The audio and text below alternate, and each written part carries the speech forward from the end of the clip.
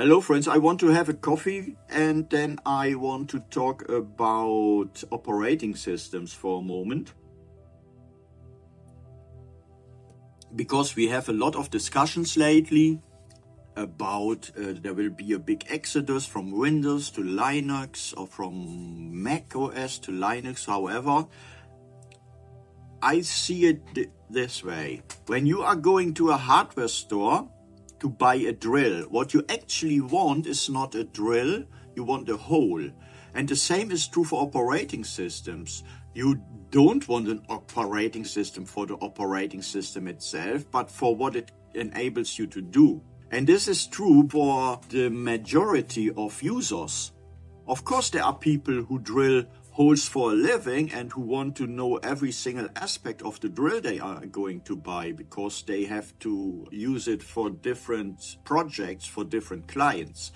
And uh, when it comes to operating systems and you are in the IT business, you need to know more than the user knows because you have to deliver support. But for the normal user, what's the majority of all operating system users, it doesn't matter that much. Just like it doesn't matter for a lot of people what's going on under the hood of their car. They get their car, and if there's something wrong, they bring it to a garage where are people who know what's going on under the hood. That's it.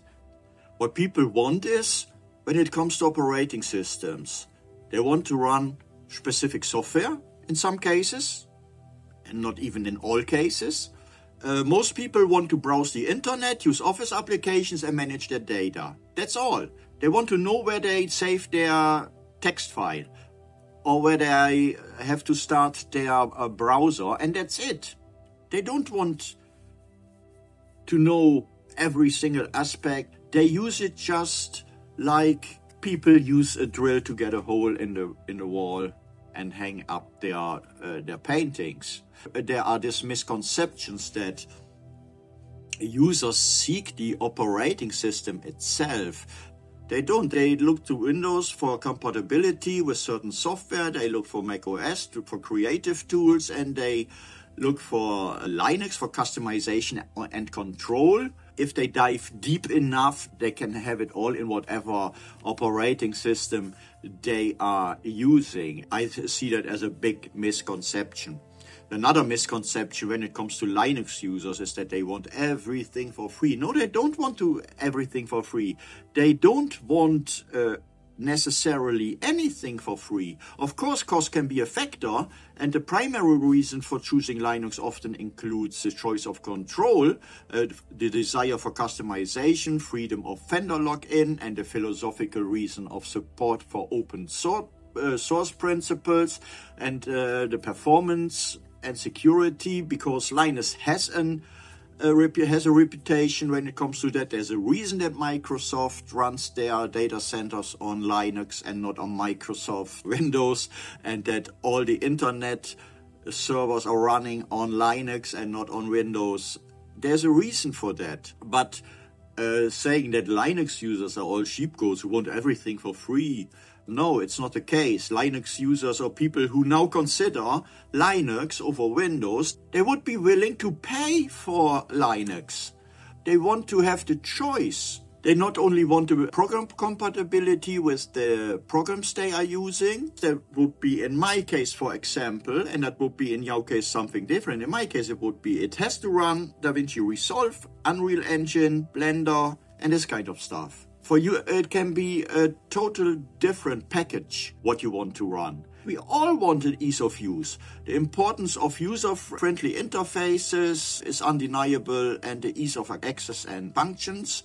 And we want to uh, be able to organize our data. We want to know where our drives are, our volumes, and that's it. But saying that we wouldn't want to pay for an operating system, that's just ignorant because we don't want to be forced fed. That's the main reason that people dislike Microsoft Windows. they don't want to be forced to be in love with it. The forced choice that people have to accept uh, when they don't build their computers on their own. It's uh, kind of disgusting. You buy a computer because you don't want to go through the hassle building in itself. And then you have to buy an operating system that comes with it. You don't even have the choice. And that's what people hate about it.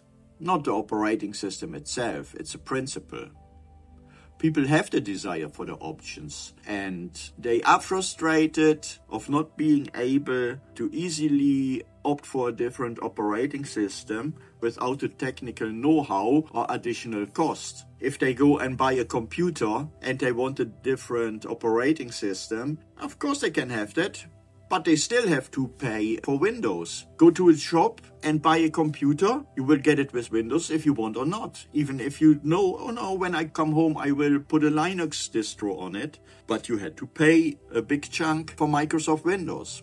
And now with all the discussions going on, I have, for example, Windows 10 on my computer that I built myself. And when the end of service date is here, I will not switch to Windows 11. I will not switch something on in the BIOS to make it compatible. I don't want that. I want to run Linux, so I'm experimenting on different computers with Linux because I'm new to Linux. It reminds me a little bit on the Amiga DOS. It's probably because it's based on Unix.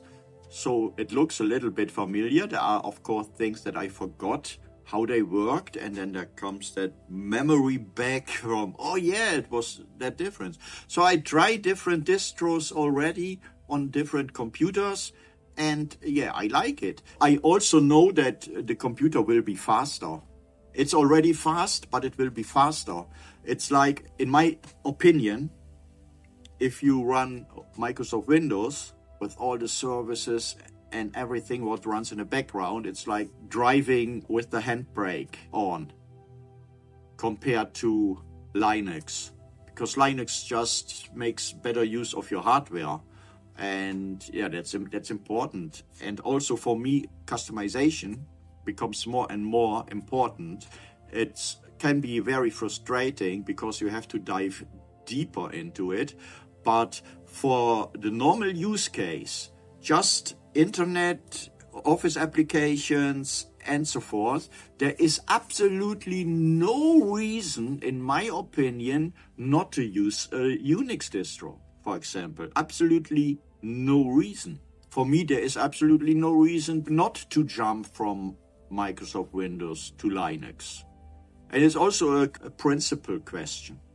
I just don't want to be forced fed where they just can say, okay, our operating system is dead, now here's a new one, but pay us. No, I don't.